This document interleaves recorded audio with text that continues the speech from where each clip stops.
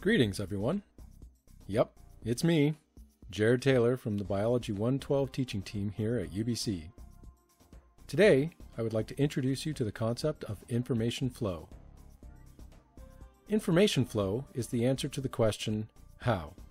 How do cells use their information? To be technical, the term information flow is just another name for what is properly known as the central dogma of molecular biology. However, since walking around saying things like the central dogma of molecular biology isn't likely to get any of us invited to parties, we will stick with the term information flow. In order to talk about information flow, let's return to some of the topics that we covered in previous videos, that is, nucleic acids and proteins. If you recall, nucleic acids are all about information and proteins are all about function. Let me say it another way. The sequence of bases in a nucleic acid, especially DNA, stores the instructions that tell a cell how to make and do things.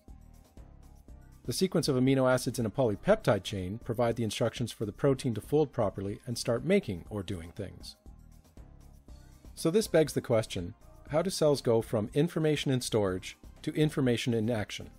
In other words, how do we go from DNA to protein? Well, let's dive into the answer although first let me simplify the sequences shown on the screen. To convert information into action, from DNA to proteins, cells use two steps, transcription and translation. This requires a middleman function that is fulfilled by RNA. This RNA, known as messenger RNA, or mRNA for short, serves as a temporary information transfer and decoding molecule. What is shown here on the screen looks simple, but in reality is quite complex with a number of moving parts.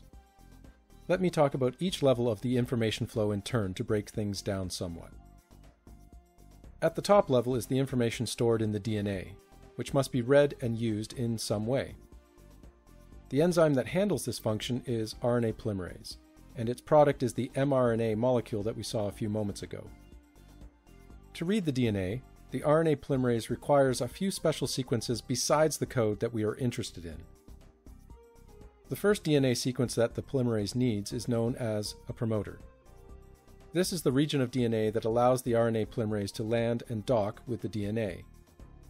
The promoter ensures that the RNA polymerase is pointed in the correct direction to read the desired code. The position of the promoter also helps define what is known as the plus one site, this represents the place where the RNA polymerase will start reading and adding bases. Finally, a terminator sequence is needed to tell the RNA polymerase when to stop reading the DNA. By the way, these DNA elements together with the information code are the basic features of what we call a gene. To start reading the DNA, the polymerase binds to the DNA using the promoter region. How this occurs is something we will cover in detail during Biology 112 lecture. Once in place, the polymerase is ready to start adding bases at the plus one site using one of the two DNA strands as a template. But which strand should it use as the template? Well, like all polymerases, RNA polymerases read DNA from 3' to 5' and make a new complementary strand in a 5' to 3' direction.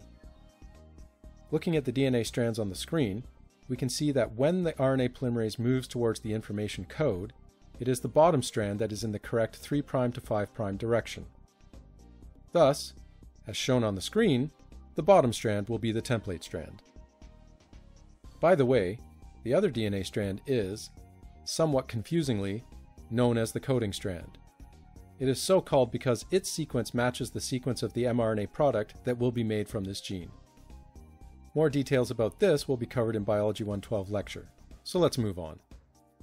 The RNA polymerase moves from the promoter towards the terminator, making the new mRNA as it transcribes. This seems like a good segue into talking about the mRNA. The mRNA, like the DNA before it, is storing information, and this level of decoding the information is known as translation. As its name suggests, this stage is all about directly translating the language of nucleic acids into the language of proteins. In other words, this is the true stage of protein production. The primary enzyme that handles this protein production is known as the ribosome. The ribosome has two main subunits known as the large subunit and the small subunit. We will talk about these in a few moments. First, let's talk about the mRNA itself. Again, like the DNA before it, it too has some required sequences. The first thing is the code itself. This corresponds to the information sequence that is contained in the coding strand and made from the template strand in the DNA. The next required element is known as the ribosome binding site, or RBS for short. As the name exactly suggests, this is where the ribosome will bind. The start codon is the location where the ribosome starts reading the code and adding amino acids to the polypeptide chain. The start codon always has the sequence AUG and always codes for the amino acid methionine. Finally, the stop codon tells the ribosome when to stop making the polypeptide chain. Please note that the stop codon does not correspond to any amino acid in the final protein. With all of these features available, the ribosome can assemble on the mRNA and begin to produce the polypeptide chain that will fold into the final protein product. Armed with all of this information, we can now revisit the previous information flow schematic. Notice that it is quite a bit more involved now that all the different features have been added. By the way, I didn't mention this earlier, but what I have shown here relates mostly to bacteria cells. Eukaryotic cells have some additional features and steps that we will discuss during Biology 112 lecture. And that is a whirlwind introduction to information flow in cells. In an upcoming video, I will introduce the concept of gene regulation and discuss some of the ways that cells can control information flow and protein production.